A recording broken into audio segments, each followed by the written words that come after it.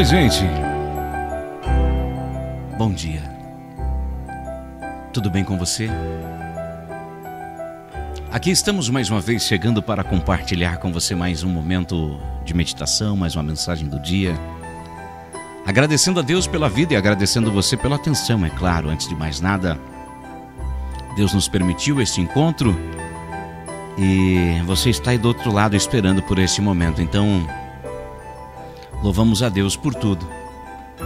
É bom ter você do outro lado, mas é bom saber que Deus está com a gente e nos ajuda na nossa caminhada. Nossas mensagens são disponibilizadas no Facebook, no YouTube, no Instagram, na Costa TV, no WhatsApp, no Telegram e no Twitter. São vários lugares onde nós disponibilizamos as nossas mensagens diariamente para você. Espero que você receba esta mensagem em um bom momento e que esta mensagem te ajude a ter um dia melhor. Nossa mensagem de hoje diz assim: olha, a discussão das tintas. Betinho, um menino de 10 anos, estava começando a estudar pintura. Tinha um lindo estojo de tintas com várias cores, telas grandes e pequenas, e também um cantinho onde fazia suas lições. Ele praticava bastante, pois desejava ser um grande pintor. Jogava com as tintas sobre a tela, fazendo lindas pinturas.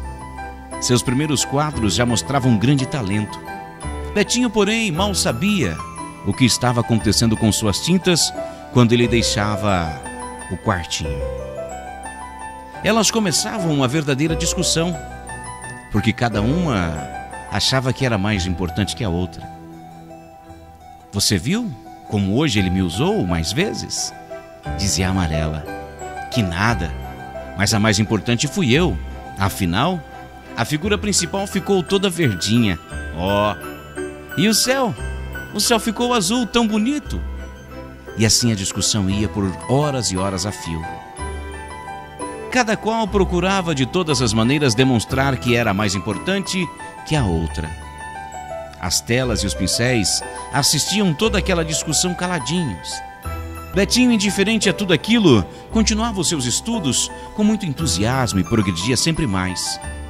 Um dia chegou a vez de estudar as tintas separadamente.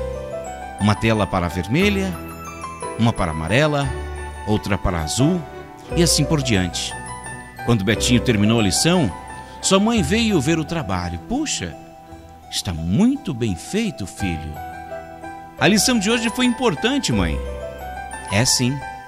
As cores são todas muito bonitas: amarela, verde, preta. Cada uma tem o seu valor e beleza. Agora são ainda mais bonitas quando estão em harmonia, formando um belo colorido, você não acha? É claro que sim, mamãe. Você já pensou se eu fosse pintar uma paisagem toda azul, por exemplo? As árvores azuis, as casas azuis, lago, céu, peixes azuis, tudo azul. Não creio que ficaria tão bonito, não é? Agora, se eu pinto as árvores de verde, o céu azul, as casas brancas, os peixinhos dourados e assim, aí sim fica uma beleza. Muito bem, filho. Você está aprendendo. Agora vá, vá brincar um pouco. Dessa vez, então, as tintas estavam silenciosas. Nenhuma tinha coragem de olhar para a outra. Também nunca tinham parado para pensar naquilo que ouviram. Cada uma era importante, mas a outra também. O pincel, percebendo a tristeza delas, resolveu animá-las. Vamos, companheiras. Não precisam ficar assim. Vocês já imaginaram se o mundo fosse de uma só cor, não teria graça. Mas ao contrário, porque ele é colorido, todos gostam dele.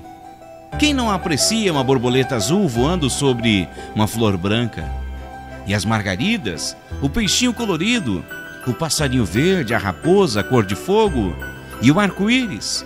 Vamos, nenhuma cor é mais importante do que a outra, cada qual no seu lugar, com seu jeito de ser, com sua própria cor é que faz a pintura de Betinho ficar cada vez mais bonito.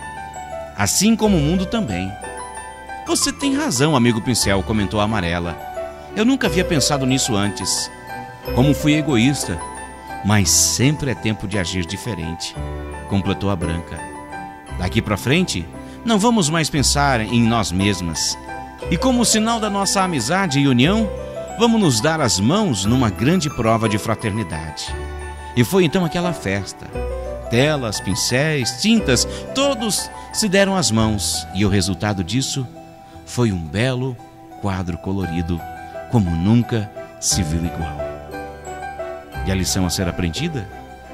Todos, todos nós somos importantes, mas é preciso saber reconhecer a importância do outro também.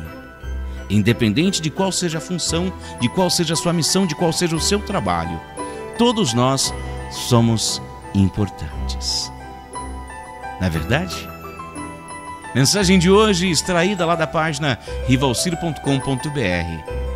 Autoria é desconhecida, mas com a colaboração de Ivan Sérgio, esta mensagem chegou até você. Um grande abraço. Que Deus abençoe a nossa semana.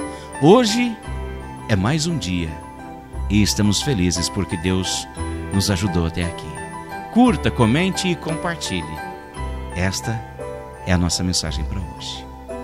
Abraço a todos e até a próxima, se Deus quiser. Tchau, gente.